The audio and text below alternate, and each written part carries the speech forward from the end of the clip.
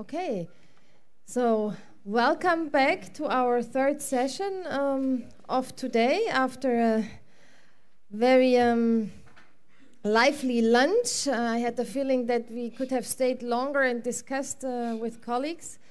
I think we, we had a very interesting discussion in the morning, and it gave us some, some general idea what what we are talking about um, about the investments, the problems that emerge with regard to, sus uh, to sustainable development, and I think we got many insights. But what I was missing, and that is why we have this panel now, was answers how these investments can be translated into sustainable development. What kind of investments, what kind of infrastructure do we need for sustainable development? And then how, how are concrete projects translated into better life for people? What are the mechanisms? And I think we have three excellent panelists here who will give us insights from individual countries, uh, but also their experience from, from other places, uh, other countries. Um, so they've got a comparative um, perspective uh, as well.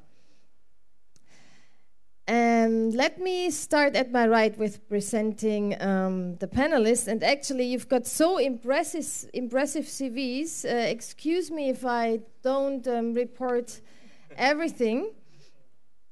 Um, to my right, uh, you find Uzo Egbuche. She is a sustainability consultant for the Nigerian Economic Summit Group.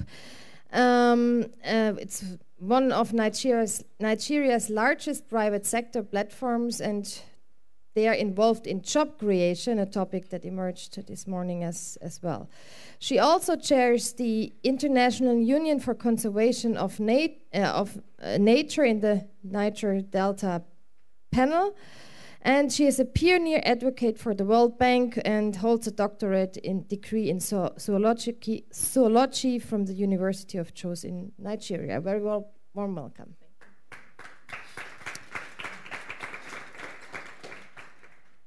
To my uh, far right, you see Mdwaba. You are founder and chief executive officer of TZoro IBC, a global deal facilitation business and commodity trader. And you you're serving in, in several important boards as president, member, uh, for instance, you're vice president for Africa of the International Organization of Employers in Geneva, board member of the IOE, and um, chairman of the University of the Western Cape. You're also involved in the International Labour Organization. But actually, I have to admit, um, I was most fascinated by the fact um, that you're the first man ever, the first man ever, to board the Business Women's Association of South Africa. So maybe. Invited by the women maybe maybe that's not the top well we, we will talk about participative and inclusive processes.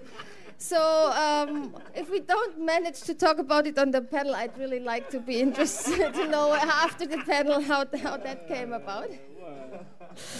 Um, and to my li- li- right uh, sorry to your right and my left um, David Ndii, and I won't waste more of our valuable time. Um, oh, oh, actually, is there somebody who wasn't here before? Because I thought you were presented already, so I think I don't need to present you twice. So we've got one more minute uh, to talk about content. We will proceed as follows. Um, and you know, I need a stop because Ah, my my watch stopped yesterday, so I don't have a watch, and I'm just I'm just see that there's no watch. Thanks a lot. Wonderful. Thank you. I should have taken care of this before. Thank you. Um, so now here we are again. Um, we will proceed as follows. I will ask a similar question um, to all panelists. This gives us the opportunity to compare the different countries we are talking about and, and different cases, and then we will engage in a discussion here on the panel, and then you've got the opportunity to ask your questions, make, make comments from the audience. So, ladies first, I start at my right with Uzo. So, from um, a Nigerian perspective, what type of investment is needed to achieve sustainable development in Nigeria? Thank you very much, Julia.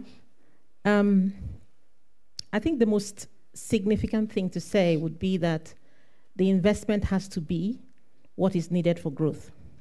And it has to be the type of investment that creates jobs. So um, we listened to Nancy's presentation in the morning, where she talked about all the PDA um, investments from the multilaterals and how it's going to do large infrastructure for, for growth. But what happens is that the large infrastructure leaves out the communities, it leaves out the huge populations. It only connects the areas that are of interest to those who are investing in it. So, what then happens is that you come to a country like Nigeria and you find that you don't have interconnecting roads for farmers to take their produce to the markets. And because of this, we lose more than 40% of products uh, annually. And this has happened for a number of years, and it's getting worse. Because also in the rural areas where the farms are, there is no power. 93 million people, let me just give you some numbers. 93 million people do not have access to power at all. So if you produce um, crops and you're unable to preserve them, you're going to lose them. You're unable to access the market, even a local market, you're going to lose them. The direct impact, of course, is that we have very high inflation because of the cost of uh, consumer products going up.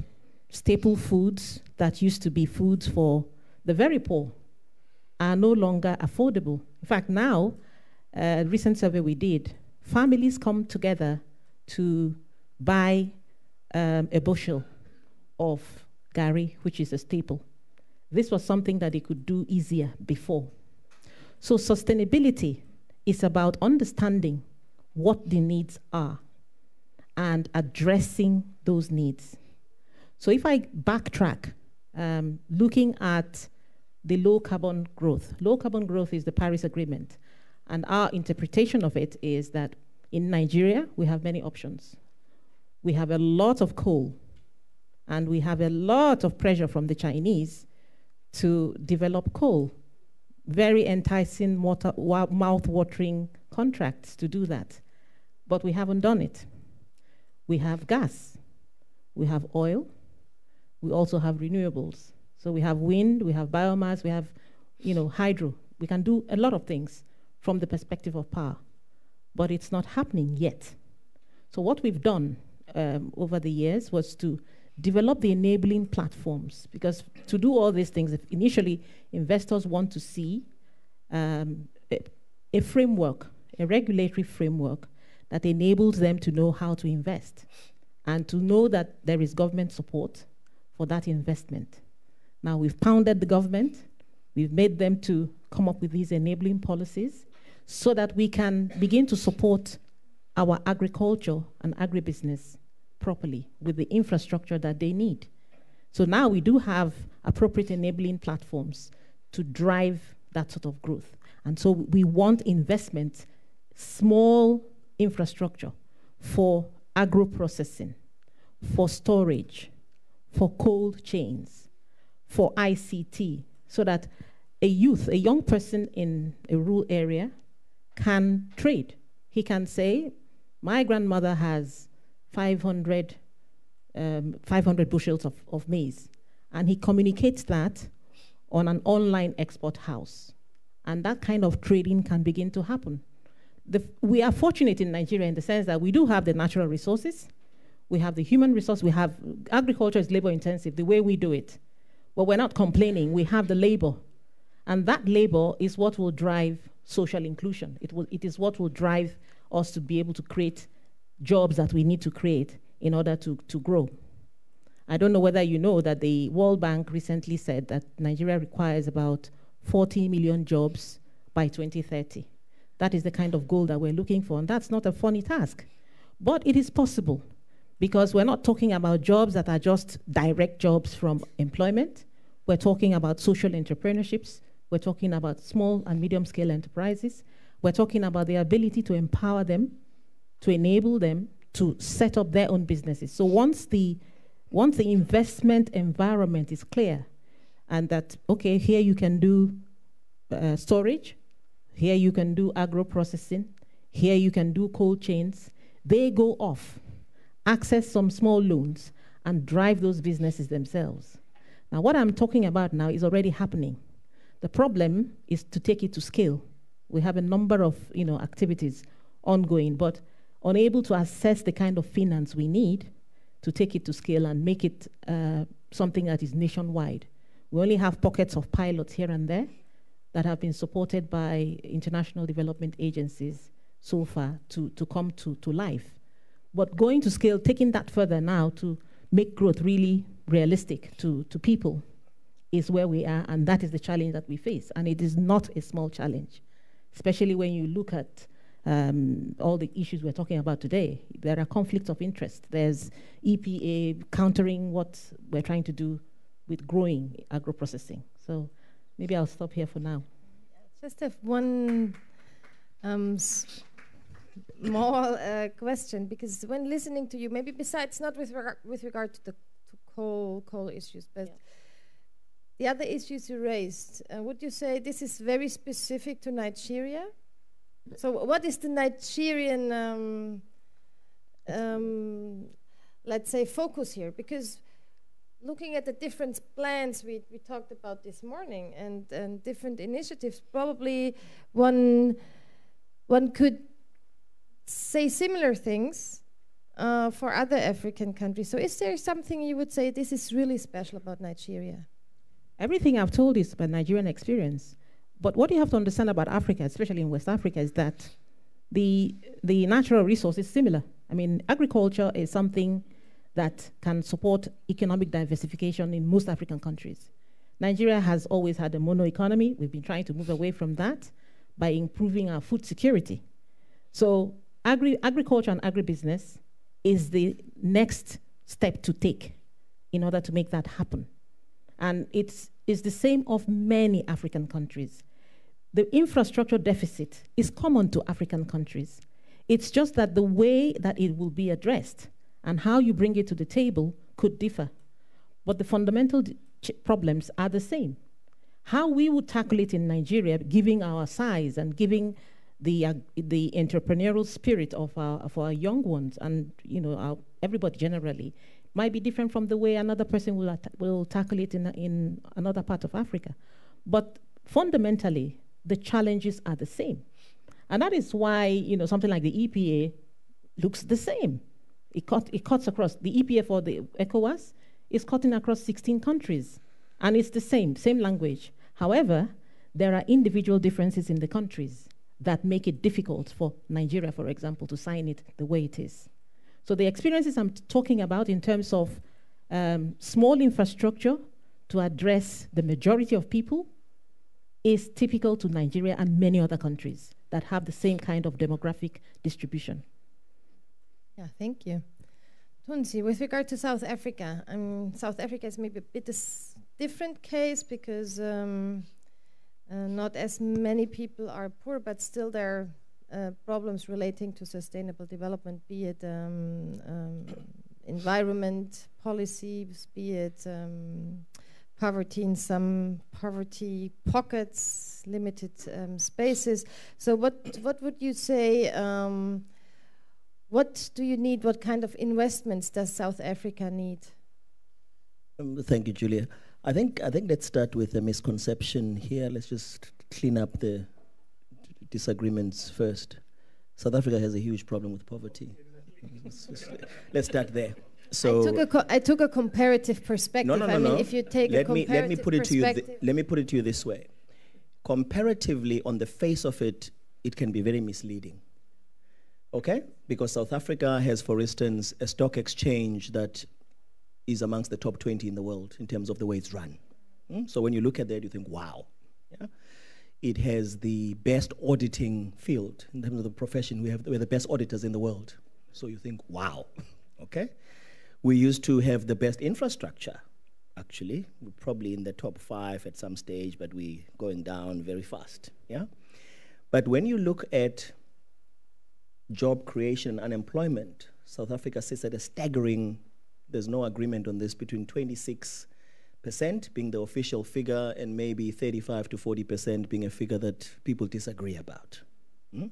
It's amongst the largest in the world. When we hit the financial crisis, the global financial crisis, South Africa was also the first country in the world that can make this claim because I was at the International Labour Organization in 2008 2009 that responded to the global financial crisis, responded by putting together a presidential joint task force. We bragged about it at, at, at fora to say, we are on the ball, we're watching this.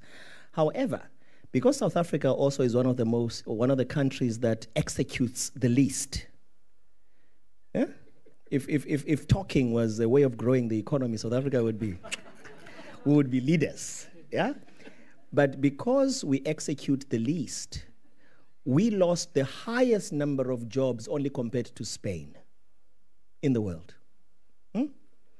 We also are, at some stage, people disagree whether we are amongst the leaders or we lead in terms of the Gini coefficient uh, inequality. Okay, you've got the very wealthy and the very poor. So I wanted to start. So, what there. are the policies that will Ah, change this? Okay.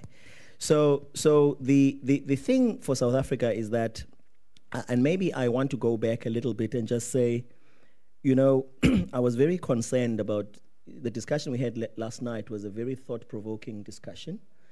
The discussion we had just before lunch was a very thought-provoking discussion. And there's a word I think that Carlos used yesterday, and I think he talked about infantilization, yeah? creating people like babies, eh? to treat us like kids. I think for me, I want to start there and say as long as there's an attempt by anybody outside Africa to treat Africa in a patronistic and in an infantilistic manner, these are never going to succeed. Okay? So when we talk about things and we say we're going to create an environment and we're doing with, for, about, I don't know, all these words we use, we've got to be very careful. So I want to start there because it's very important. What South Africa needs and what Africa needs is sustained, unimposed, impactful investment that empowers. hmm? Empowers the people on the ground, empowers the communities, empowers and takes away poverty, deals directly with the 2030 SDG issues, deals directly with the 2063 cross reference issues. Yeah? So we need that. So, South Africa. South Africa has a very interesting situation where we've led for many years in policy uh, drafting and policy uh, execution, uh, no, no, policy uh, uh, passing of, of policies and coming up with regulations and so on. But again, we fail with execution. Remember, I said we execute the list. And a lot of our colleagues in the continent, there was a time when they just followed what South Africa does. I mean, I know for a long time, Kenya, uh, we, we used to be very upset, just followed. And when we're looking for Kenya to support us, uh, Kenya would say, no, no, we like this law, we're going to pass it. Um, and, and of course, Kenya would clean it up and do it a little bit differently and better. But, but we, we have very rigid, incoherent policies. And we fail to do what I would call a RIA, your regulatory impact assessments. We simply just fail in executing because our inspectorate maybe doesn't do a good job in checking for issues or relating to OSH or whatever the situation may be. And then we pass another law to police the last law.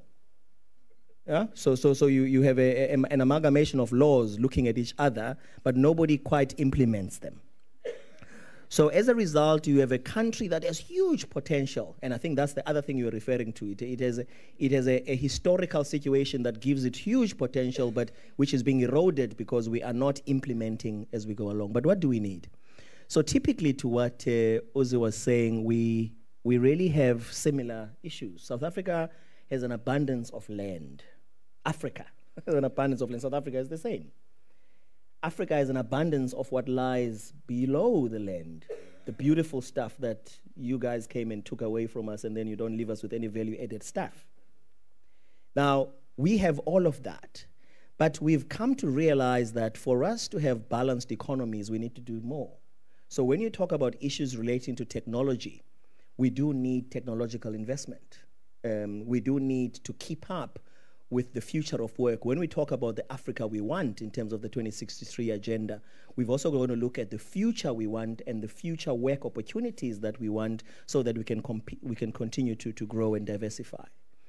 We have a lot of requirements in terms of agriculture um, as well. So your agro-related situations and your food security-related situations are also key. In the construction environment, we also need a lot of investment, but maybe I should explain that because we've got a lot of good construction companies that, for instance, we're able to build all the stadia that we have in South Africa, some of which are white elephants now that came with the uh, 2010 uh, Football World Cup. Uh, now we don't know what to do with them. They're standing there, they're looking pretty, but they ain't, they ain't being used. So we have a lot of companies that do that, but what we don't have is enough funding and some kind of assistance to be able to have accommodation, for instance, in the educational environment. You know, you, you mentioned that I'm, I'm a chairman of one of the universities. So my university typically has about 22,000 students. But out of the 22,000 students, we can only cater for 3,000 students in terms of beds. So about 19,000 have to find a place to live somewhere uh, in squalor sometimes, and it creates a lot of the uh, protests you see in South Africa. You know, you've had things about hashtag fees must fall. You've had issues relating to people not having places to sleep and whatever. So you have a situation where people leave. I mean, uh, my university is sort of one of the top seven in the African continent and the top five in South Africa. So people travel to go to the university. Many, many kilometers, a thousand kilometers, and then you have no family, you have no money, you've got nowhere to go. So we need investments in that area to create accommodation, to create um, some kind of a very sustainable living environment for, for our students. I think I'll stop there for now and then I'll come back later. Yeah. Thank you. Um, David, for you, the same question from a Kenyan perspective, and you already gave some examples in your last. Um, last presentation. What type of investments, what is needed for sustainable development in Kenya? Uh, thank you very much. I, am glad I like this panel because uh, I, am able to take a different tack from the previous high level conversation and actually complement what they're saying because it resonates with me and it, it resonates a lot in Kenya as well. So we do have a lot of, of, of similarities, but it's, but it's important to demonstrate the nuances which makes people understand why you need to look at every country uh, in its own case.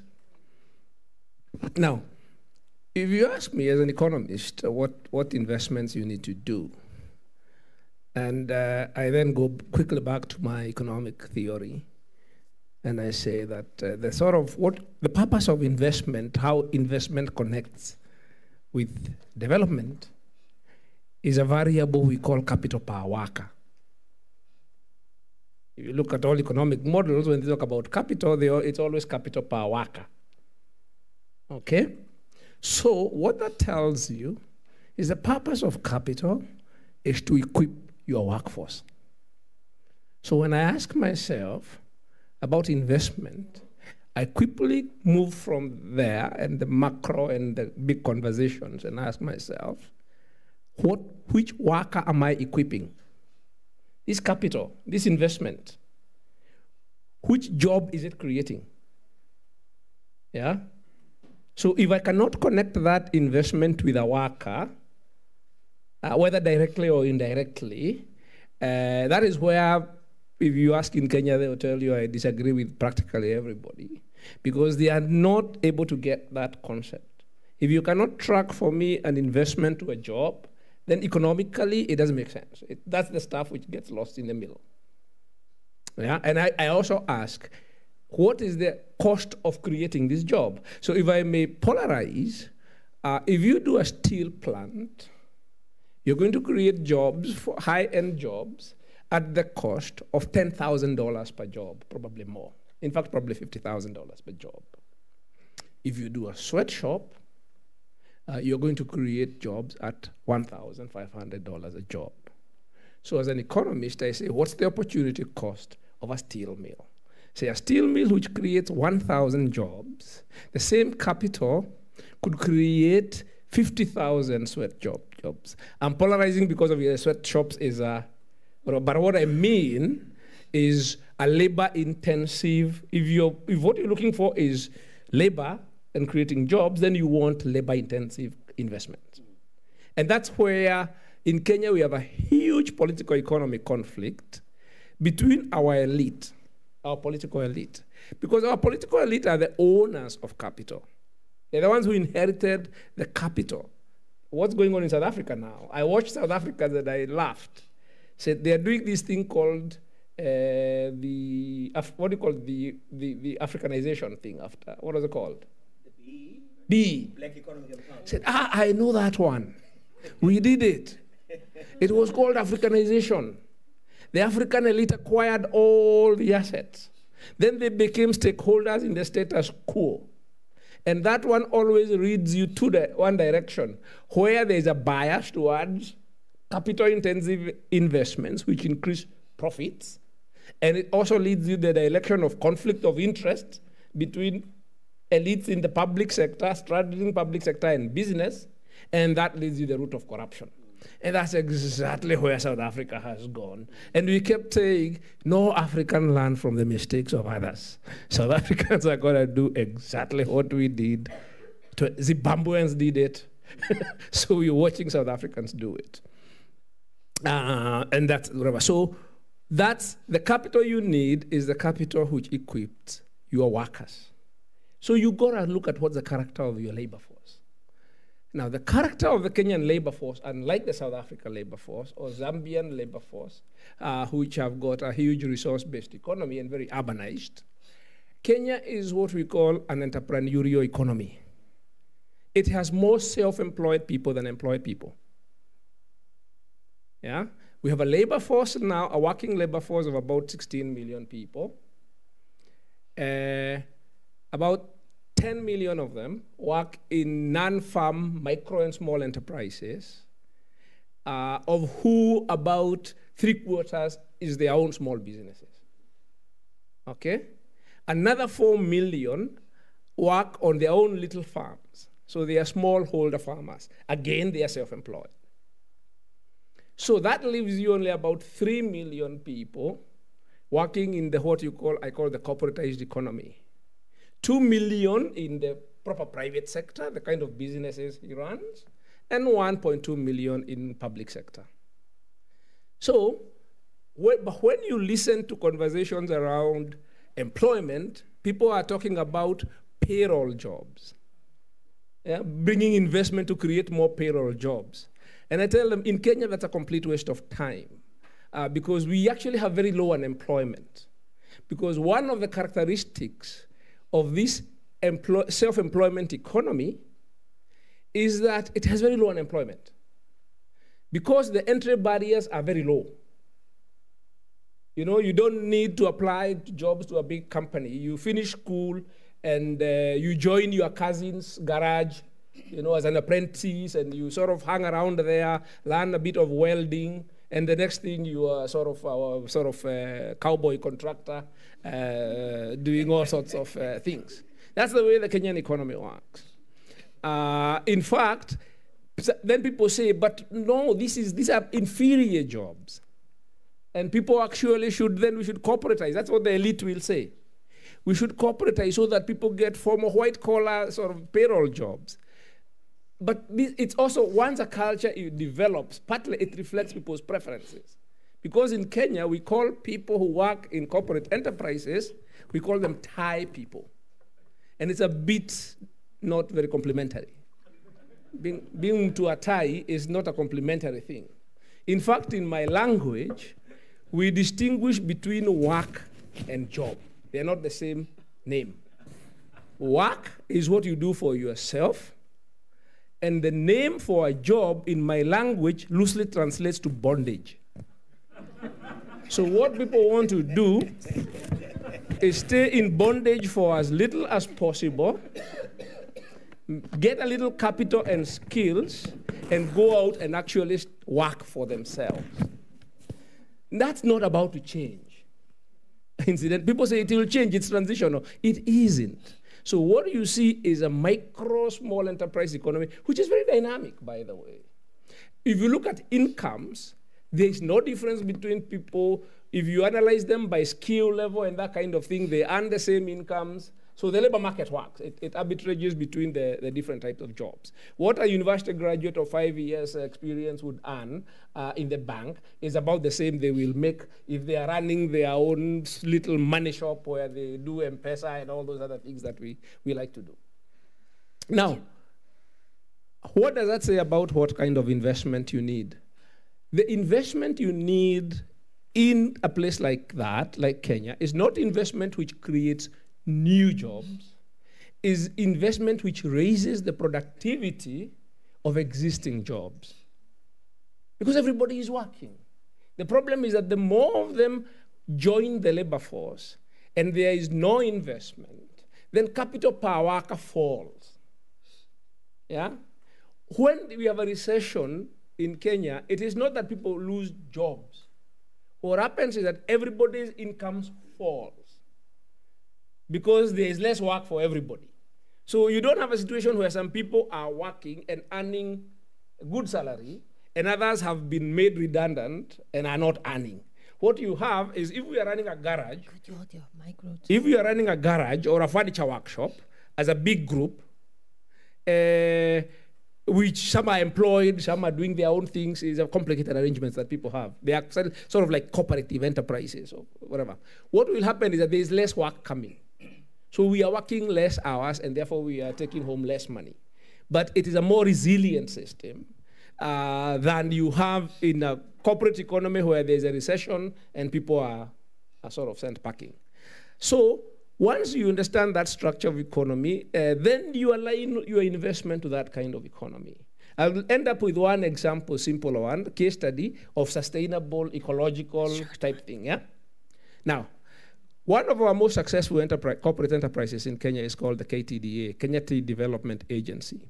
This is an agricultural collective which supports our about half a million smallholder tea farmers and is the single largest exporter of black tea in the world. About $2 billion worth of black tea.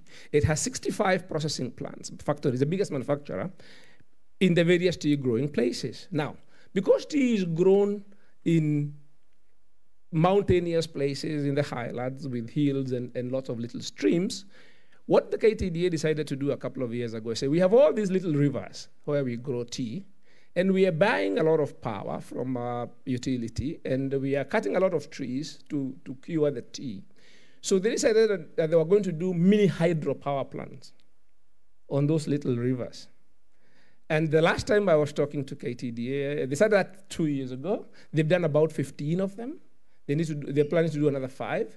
And in a couple of years, KTDA will be doing all its tea value chain on clean power from its mini hydros. I think they are they've done about 20 megawatts. They want to do about 40 megawatts. Now, how have they? That's the kind of capital you need. Even if you're talking about corporate level capital, the key to sustainable, uh, because you look at this organization, you say, why isn't it doing the sort of things that big uh, private sector entities coming from wherever are doing. The reason why it's not doing those things and it's doing this is not because it wants to save the planet. uh, it, belongs, it belongs to the people. And they live in that environment. And they value that environment because if you go where we grow tea, it's very sort of pristine, clean, uh, sort of places. And they don't want to destroy their environment. So when you come up with a proposal that we can actually uh, produce, become even more sustainable, they, they're very quick to go for it. They put in their own capital. Of course, they've borrowed some money and raised resources from other places. I just wanted to give an illustration.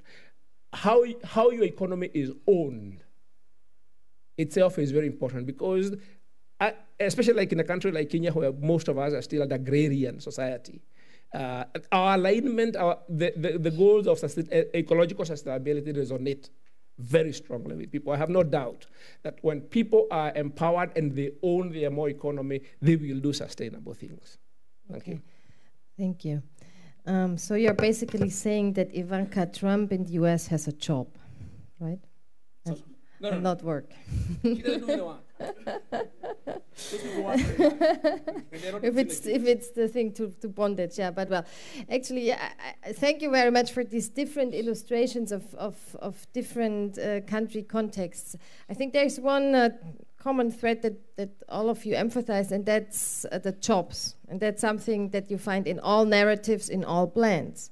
So I'd like to um, push you a bit further because if we imagine um, that we now have more jobs or African people have more jobs, then still the question is if you as an individual earn money and you can maintain yourself, who builds the school you are going to? Who takes care that the, the, the uh, water clean investments are made for the environment and not for your own income only? So the next step would be in order to have sustainable development and, and public goods.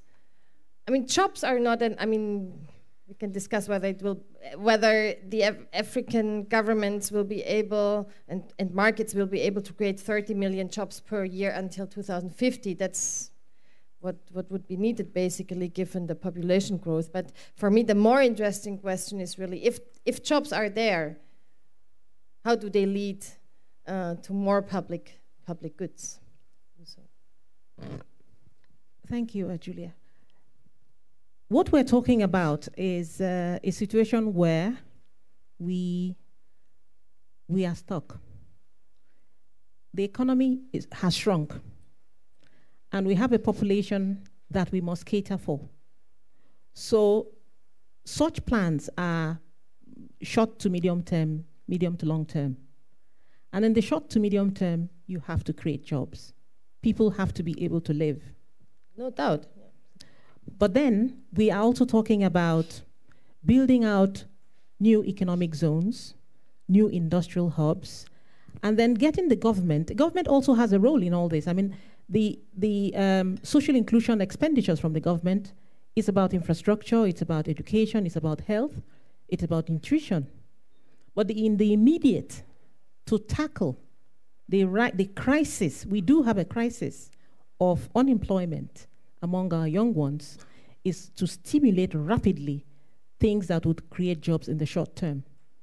And then by the medium term, you begin to stabilize and have enough, because all these jobs you're creating, don't forget, would also create revenues for the government it, through you know, taxes and all that. And the government begins to get a little bit more money to do other things, especially to put in the infrastructure, the roads, the water, and other things that people need going forward. So it's not what we're what I'm trying to portray is that where we are today is a crisis, and if you're in a crisis, you have to solve the immediate, stabilize, and then begin to plan longer term. What big infrastructure does is, you know, long term, is medium to long term. All the PPPs, blended finance type of projects, take four, five, six years. What do we do till then? And the big infrastructure will not, it will not impact people as much as the small one would. So if you come to a cluster of maybe uh, farmers that grow tomatoes, let me give tomatoes as, as an example because a lot of work has gone into that in terms of mapping where tomatoes can grow. We spend a lot of money importing tomato paste, but we can produce tomatoes, lots of it. And what happens is that because we don't have the infrastructure, the processing power, we lose it. So what happens? The local manufacturers who make the paste import the triple concentrate, the raw material for it. And that has impoverished our own farmers. So what is happening is that we're importing to save markets in the West while our own farmers are unable to scale. But if you then put infrastructure to support small farmers, it will begin to grow a cluster of an economic activity that impacts other things. You know, it will bring in uh, agro processing, it will bring in storage, it will bring in cold chains, it will bring in all kinds of things that you can't even think about now that will grow from there. This is a short term thing that will happen for maize, for sorghum, for rice. These are crops that we have the capacity for self sufficiency to, in, in two years. That's what our, plan, our economic plan says. We can do it in two years. but we must invest correctly. We have to put in power for irrigation, for example, in rice. Flood the rice uh, farms and deflood the rice farms with powered uh, pumps so that you get the, the maximum crop yield. In that way, instead of importing 10 million tons of rice, we begin to produce it. And already, changing the way that we are planting now is showing that we have some, some traction in that area. What we need to do is to scale it. But as we scale it, and as we, as we get more income from taxes, that's the government, the government then has to put money into those other areas for bigger infrastructure, for health and education, for nutrition. That is the government's responsibility. But the private sector is the one that can drive this small scale, rapid uh, infrastructure for rapid growth. Yeah, thank you.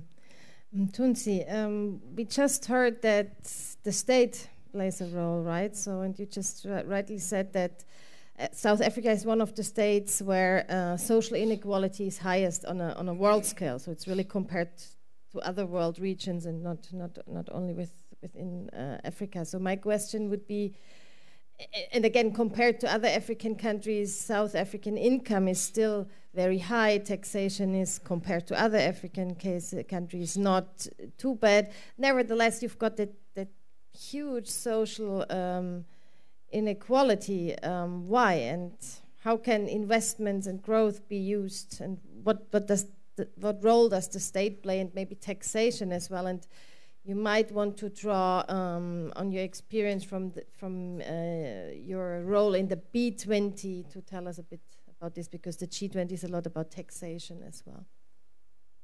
Hmm. Okay, that's a very broad question.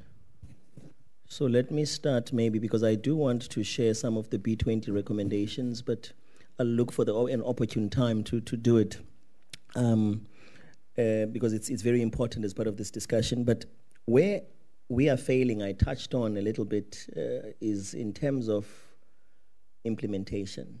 Um, we have very good policies, very sound policies.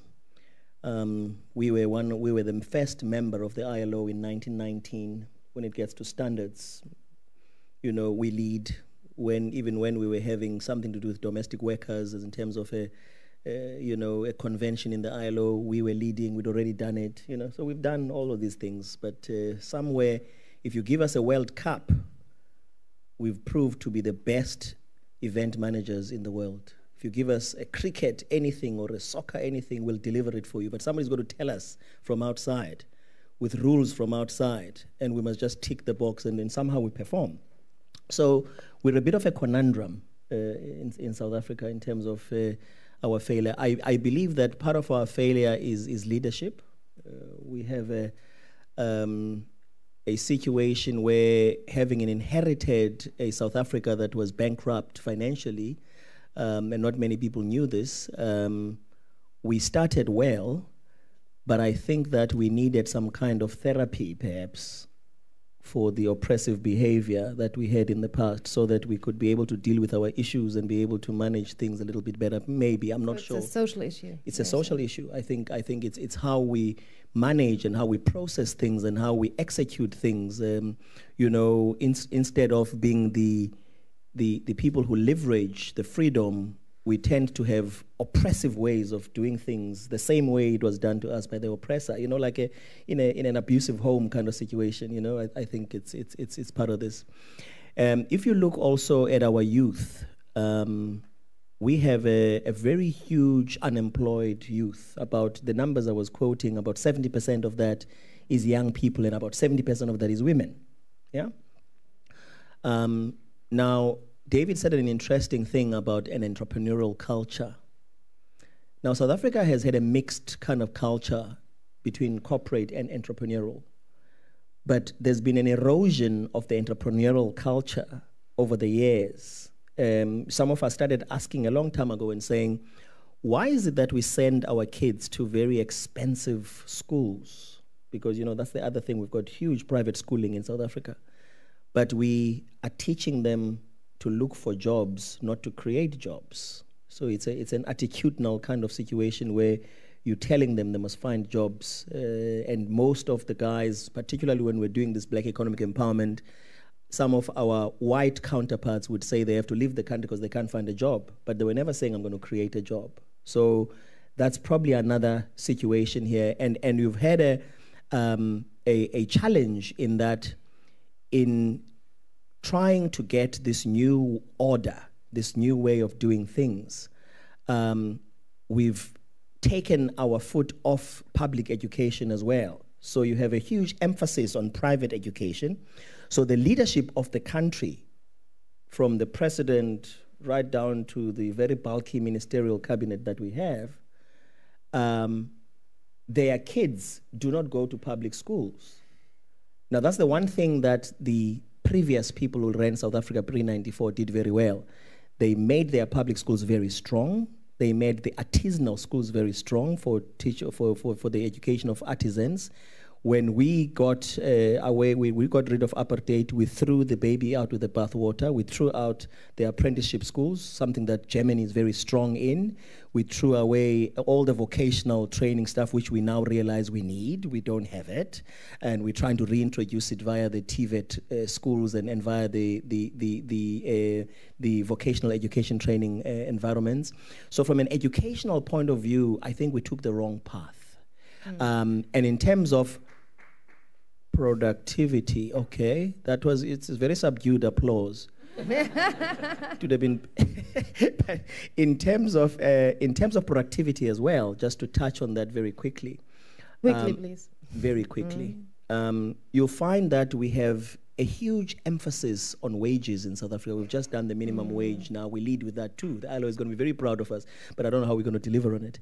Um, we, we, but we do wages without tracking wages for productivity. You cannot mm. do that. So, yeah. Okay, thanks. So, one last question, and then we open um, for the audience. So, I'll um, rephrase the question a bit and like to focus on taxation because there's a large number of people in um, Kenya living still in poverty and, and absolute poverty. So, my question would be why doesn't the Kenyan state um, succeed to transfer um, income and resources uh, to its people? Actually, we have a very strong tax base. We collect 20% of GDP, which is uh, about as high as you can with the, the size of economy we have and its structure.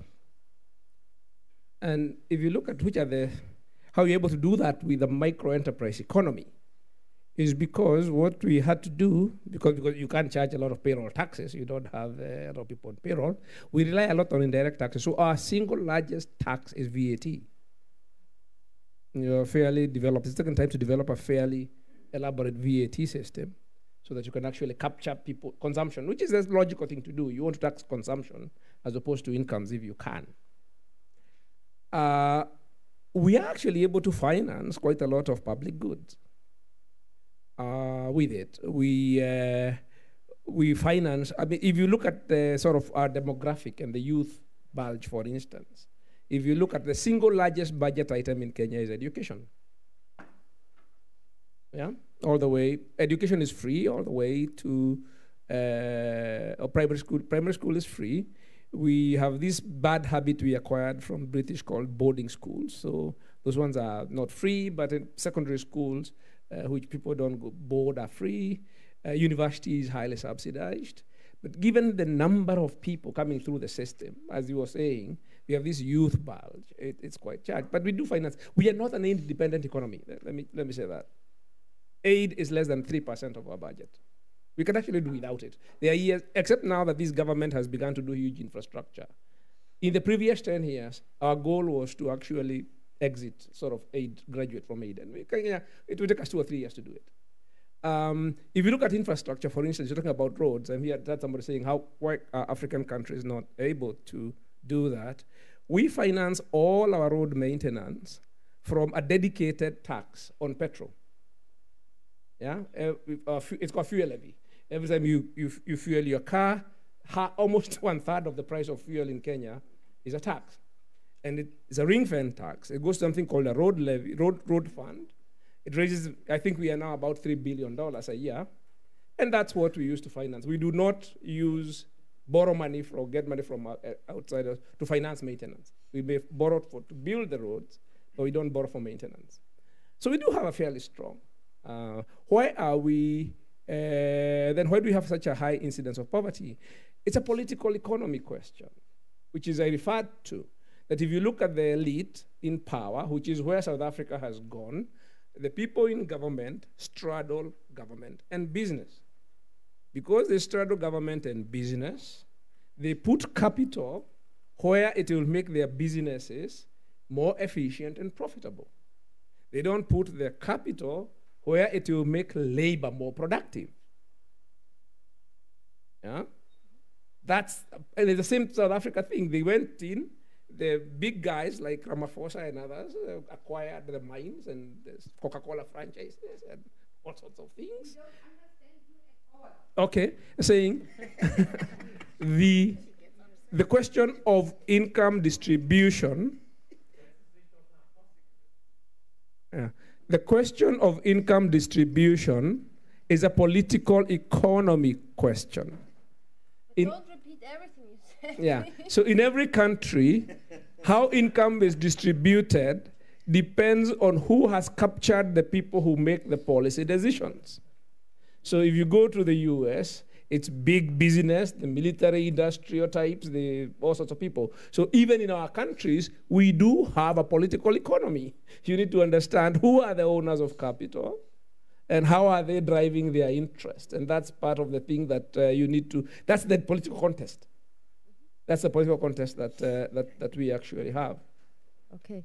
Yeah, thank you very much. I think we got many insights in three different contexts. So I'd now like to open the floor and I take uh, three questions, comments, and I see two in my front. Go ahead. Um, do we have a micro? Yeah. So here it is. Um, yeah.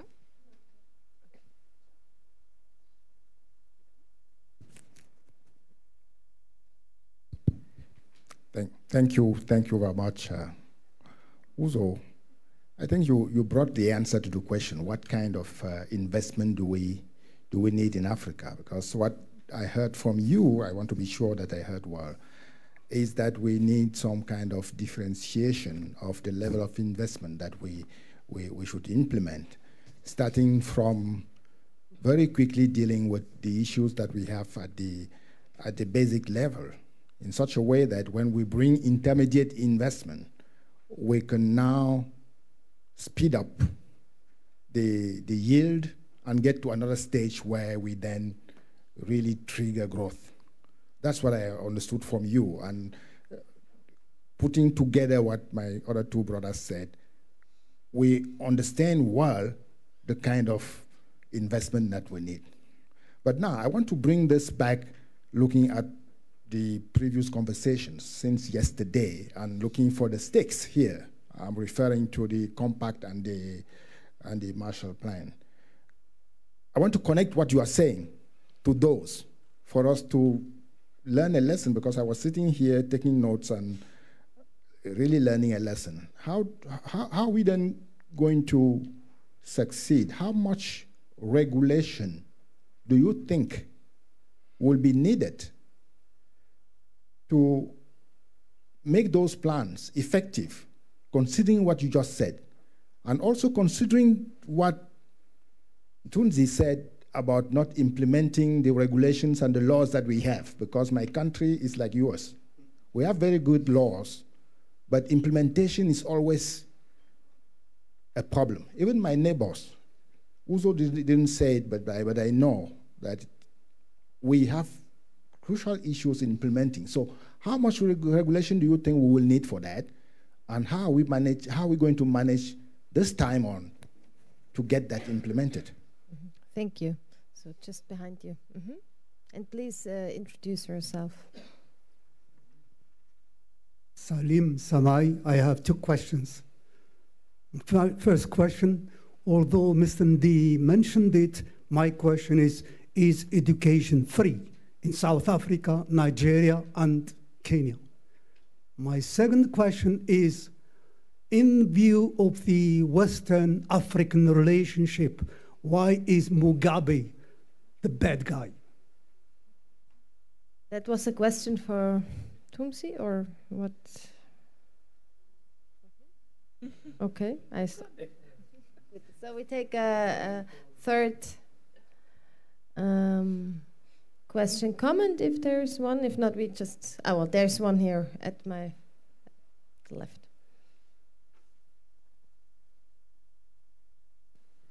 So, Afalabi Mokode is my name. I'm a delegate from Nigeria, and I actually represent the government. Um, I think mine is a comment, not necessarily a question, and just to support um, what Uzo and um, all the other speakers have said. I think clearly, and um, I do agree with Mr. Ndii uh, from Kenya, uh, the issue really is targeting your investment uh, towards job creation. And what we did in Nigeria, uh, which I know Uzo has also alluded to in a lot of uh, our presentations, is really being able to dimension. Uh, there is the bottom up and there is the top down. Now, what, what we've done, especially even with the government's um, own uh, funding now of social jobs, is really to attack it from the bottom up, but then tying it, tying the outputs of that even to the economic sector uh, position. Another thing that uh, uh, which uh, Uzo was speaking to is the fact that we also need to be able to, and which helps with what Mr. Ndii was saying, be able to dimension job creation on a sector by sector basis, uh, wherein you're able to then look at labor intensive jobs versus uh, you, you, know, whether you call it profiteering, you know, kind of jobs that, you know, when you bring in a lot of investment, because what you find with automation and, and technology many times, you know, heavy investment, but then uh, little number of jobs created to be able to mop up your high rate of unemployment. So when you look at that and juxtapose it by the fact that you must get a lot of people employed, you then have to go to certain sectors that can really give you productivity. Agriculture, definitely one. Mining, uh, which is also a priority for us, is another. Renewable energy is another, which can power a lot of all the sectors, agriculture and whatever. You. Construction um, is another. I like to describe Nigeria as a, uh, as a construction site. Um, so I think that's really how we've got to look at this in terms of investment and, uh, and job creation. And when you then begin to speak about investment, you, you need to target your investment sometimes at the very at, at the start to give you what can give you incremental uh, you know, uh, job creation efforts, while you know, almost like an emergency uh, measure, and then um, as you ramp up to then get higher investment for mid-term, long-term uh, objectives. Thank you. Yeah, thank you very much. So this was was rather common. So we've got um, three uh, questions on the table, and I'd like um, we have a second round. Um, the first one was with regard to linking up to the the different different plans and initiatives. So since it was addressed directly to you, and maybe Mthunzi, you want to come in because since it links to the plans, it links to G20 and then maybe to B20 as well. Mm-hmm. Um, specifically, what I picked from the compact and the Marshall Plan is a kind of new direction to um, involve the private sector in growth. So, I, going back, the challenge we have in Africa, especially in Nigeria, is that the government is expected to create jobs. But it is the private sector that creates jobs. The government enables the policies that create jobs. So, from these new approaches from Compact and Marshall Plan, it appears as if that point of correction, that's my interpretation, that point of correction has been taken, and that this time around, um, these interventions will focus more on the private sector. If the private sector begins to drive job creation, you will see a rapid um, improvement in the rollout of jobs, not just direct jobs like employment, but also the jobs that um, David alluded to and uh, Mthunzi alluded to, jobs that are entrepreneurial. The African environment is full of entrepreneurship. We have evolved that way as a result of the way our countries have evolved, where the government is, seems to be in charge of job creation, and when there's a gap, people do what they have to do to survive. Mm. So that's how come we have so much entrepreneurial spirit. And if you put in the enabling infrastructure, people will do what they have to do to survive. That is just how we have evolved. And so I think that what we are doing in Nigeria is to leverage on what we see. So the minister has explained that Compact Africa is something that is voluntary. So you, you present yourself, what, how you intend to access it, what your plans are, and negotiate. Mm. And that, that's what we want to begin to do. We want to begin to do transactions. And to make that happen, the enabling policies, the regulatory frameworks are important. So you're saying, what kind of you know, regulatory frameworks. Something like renewable power is the driver for us in, in Nigeria because it had been almost not in the energy mix. So we've been able to scale that to about 36% of the energy mix, which means that if you drive it accurately and aggressively, we are going to create a lot of jobs and also trigger growth in agribusiness and agro-processing and all those kind of businesses, small businesses, large in, in labor intensive, create a number of social jobs that we need. So th that's the linkage. And we have numerous regulations in that area that we've done in the last two years to get ourselves prepared to receive the appropriate investments. So we hope that if we present, you know, packages for investment from the private sector, that it will receive, you know, the kind of interest that we want it to receive if the compact is what it says it is. Thank you. There was this other question of free education, whether there is free education in all, because I think Mthunzi Yes, in Nigeria there is an element of free education, um, and those schools are not doing well.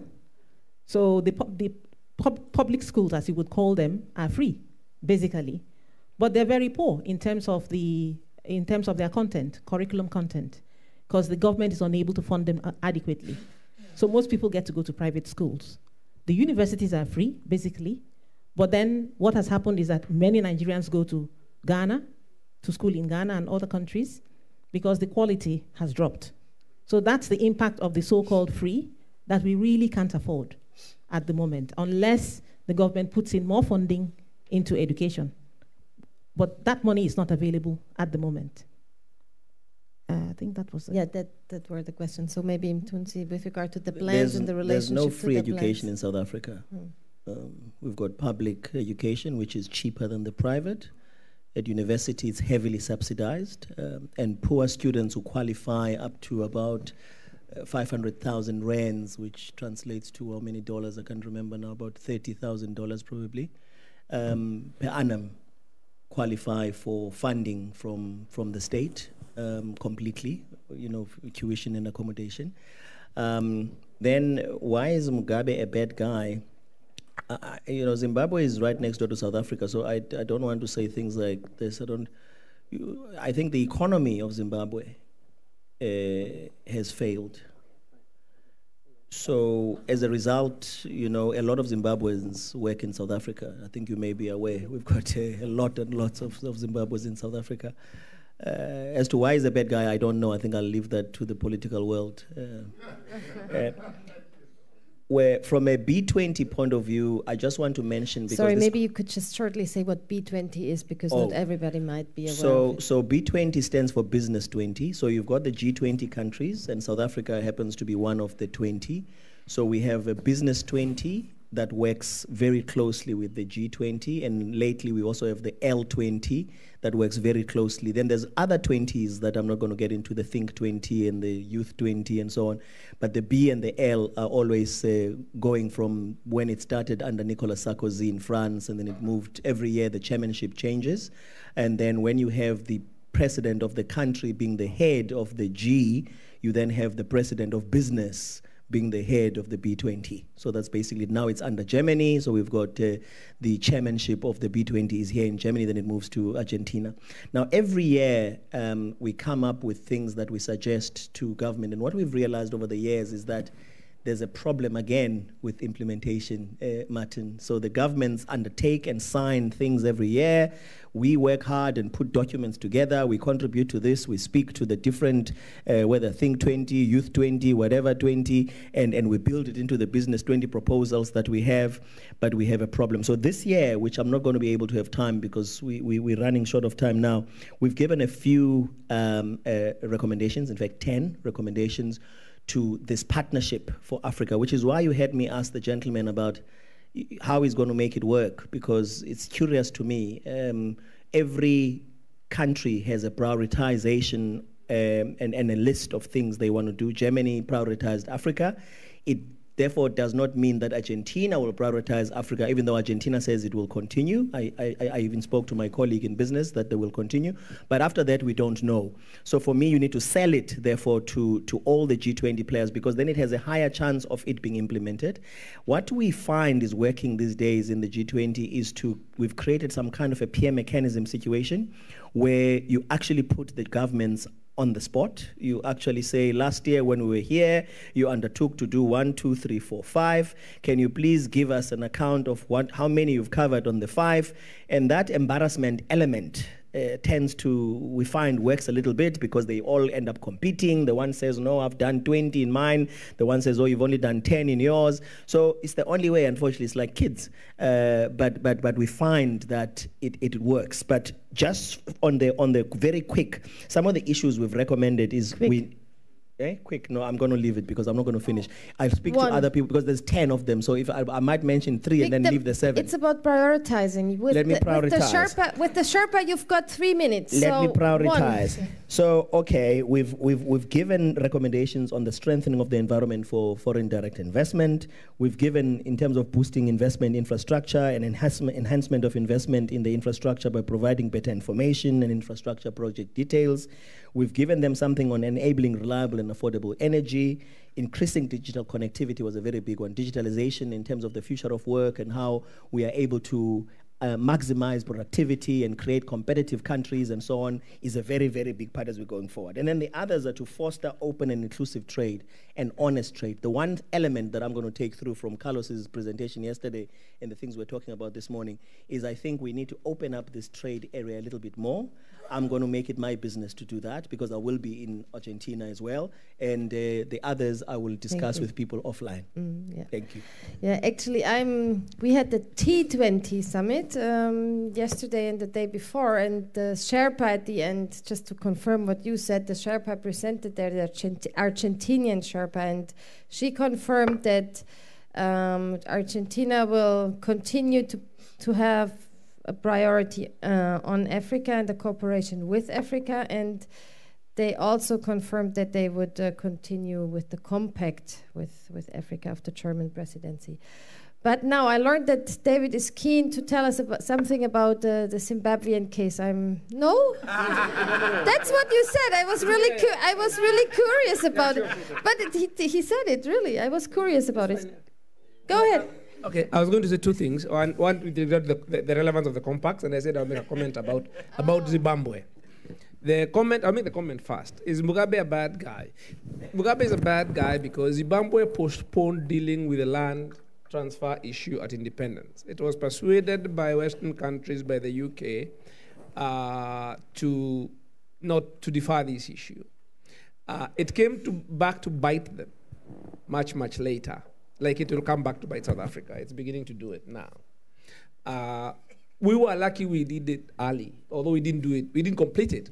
We st- it's still un- uh, there are some areas where it's still unraveling. If you read the papers, we have a crisis in a place called Laikipia, where people like Kuki Gallmann own uh, hundred thousands of acres of, of land, which they have converted into nature conservancies, uh, which belong to Maasai pastoralists. So those issues are not unresolved. So in Zimbabwe, Mugabe is trying to do what he should have done, what Zimbabwe should have done in 1970, in 1980.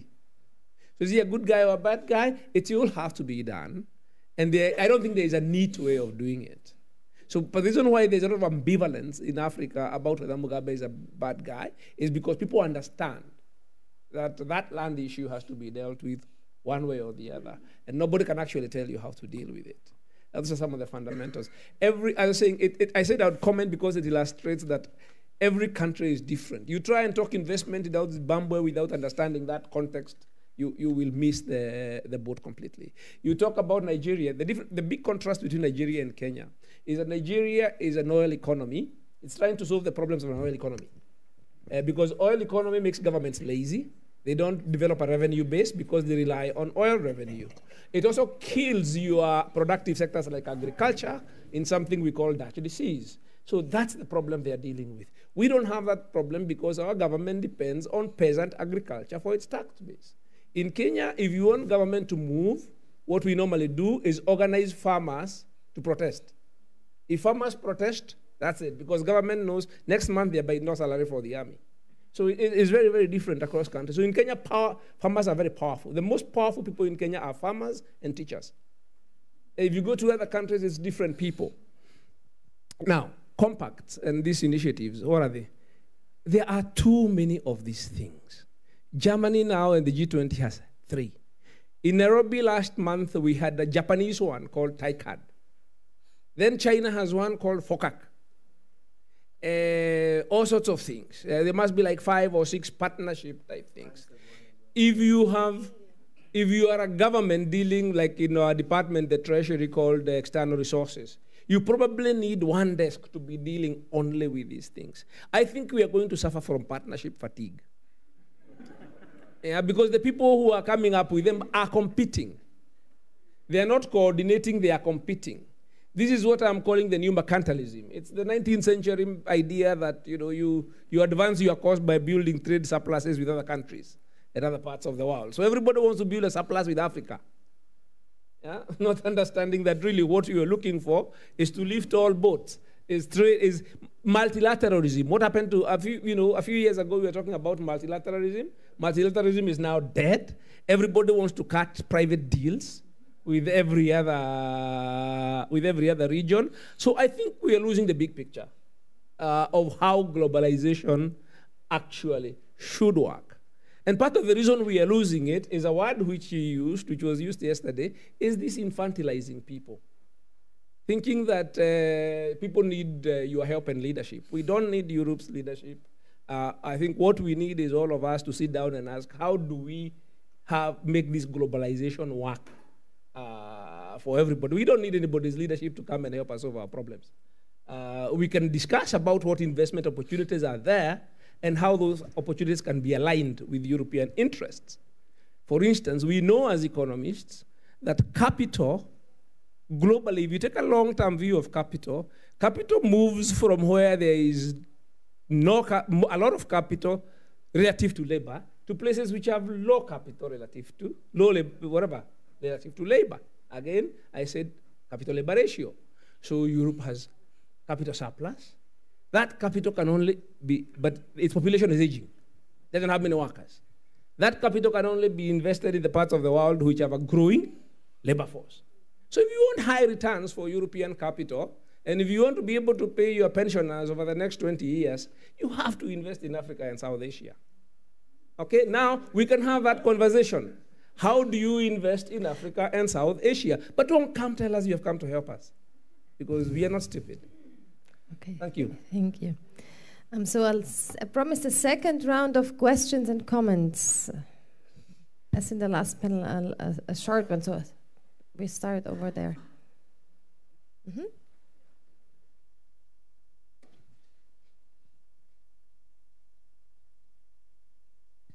Hello, thank you. Uh, my name is Tobias Panoffen from the Frankfurt School UNEP Collaborating Center. I have a question uh, with regards to what you said, David, uh, earlier, um, just at the at the beginning of the uh, panel discussion with the phrase you, you labeled Africa, Africanization, uh, so that the uh, the new elites become kind of part of the status quo, kind of yeah, grew into the grew into the system um, which you compared with the BEE system in uh, in South Africa.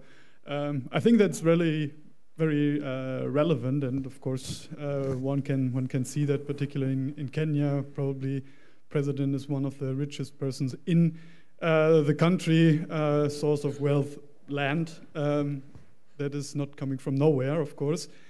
Um, you said this is creating a lot of conflict of interests, um, and I believe there are a lot of trickle down effects. So it's not only relating to the to the president itself, but also to a lot of other areas, to a lot of other public stakeholders which are in the government.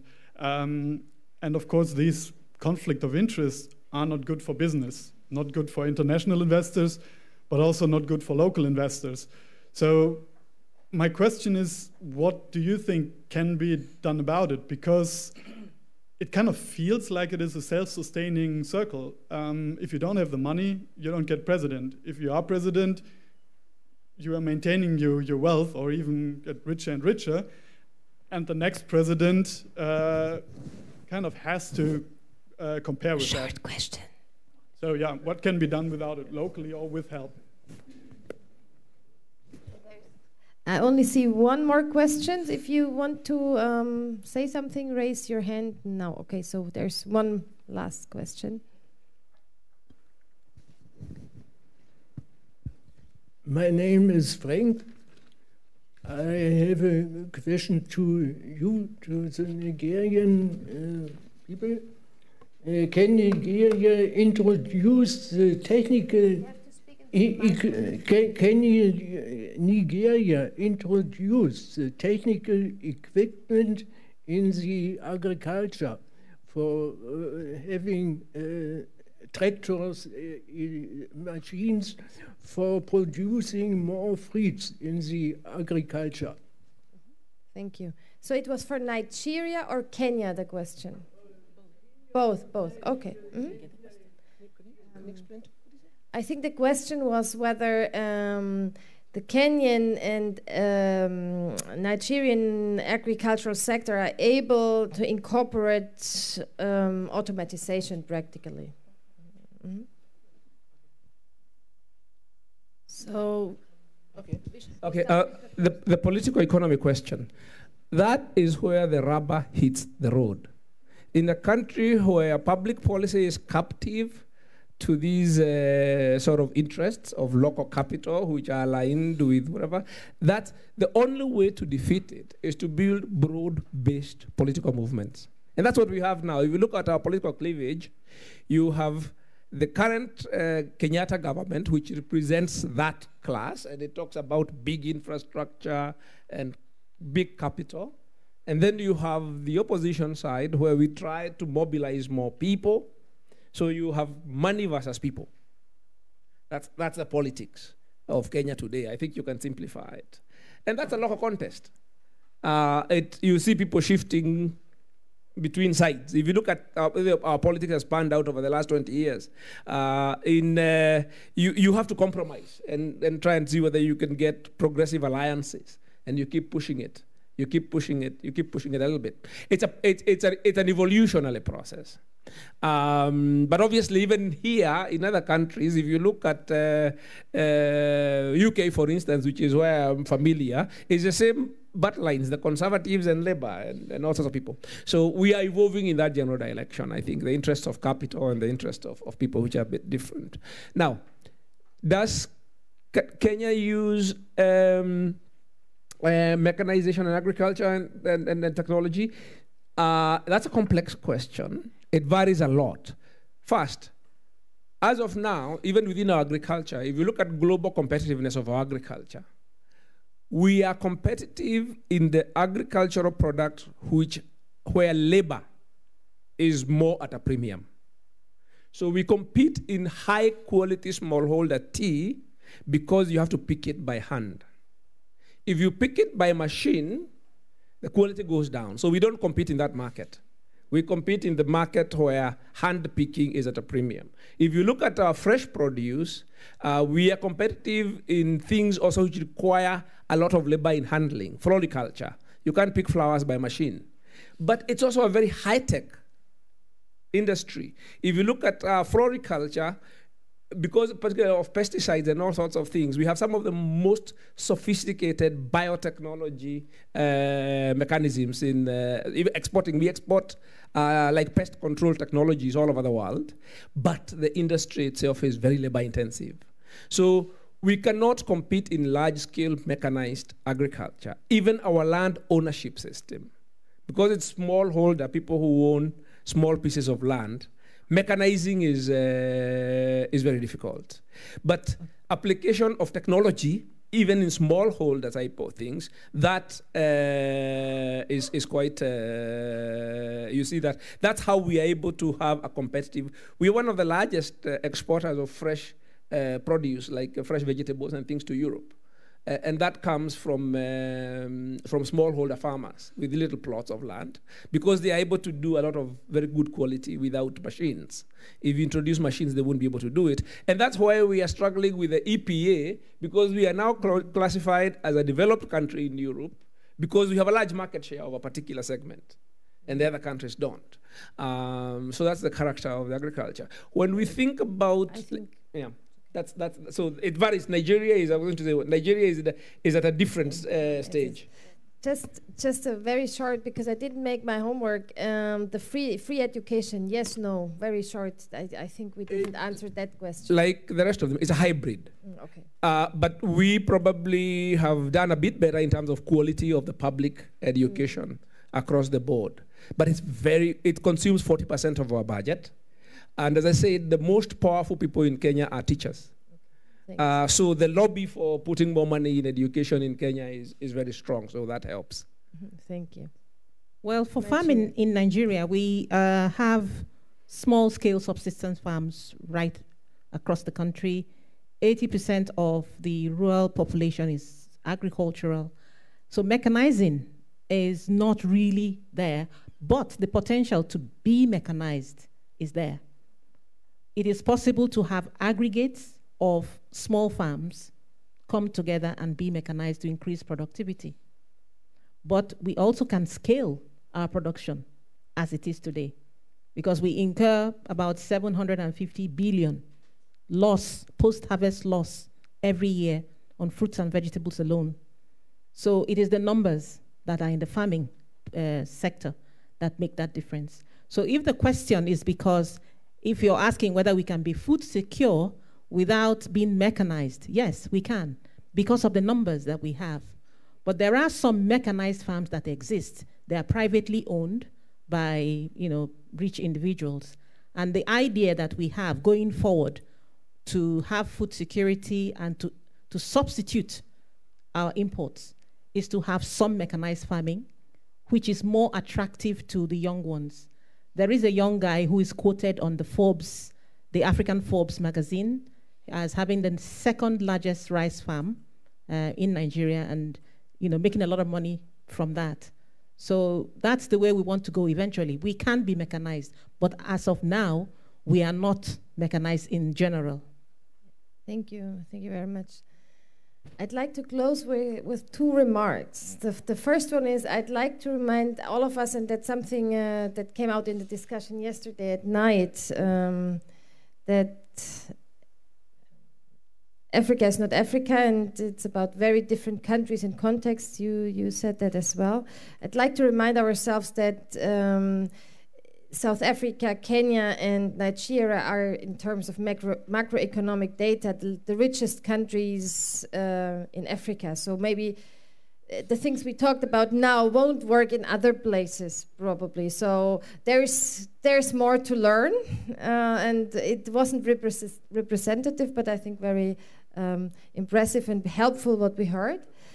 And second I'm, as I said, I was at the T20 summit the last two days, and we had a big African delegation, and we had the deputy uh, chair of the African Commission there as well. And one one of a, one constant theme during these conversations was a call for African intellectual leadership. So African participants said, if we if we want to take development in our hands, if it's about ownership, it's about African intellectual leadership and not not foreign plans. And I'm really honored that I was on a panel today that really showed this uh, very African intellectual leadership. I learned a lot. Thank you.